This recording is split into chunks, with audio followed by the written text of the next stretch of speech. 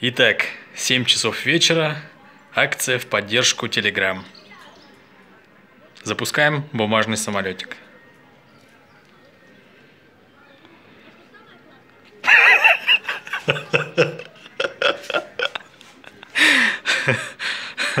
Ну что, запустили.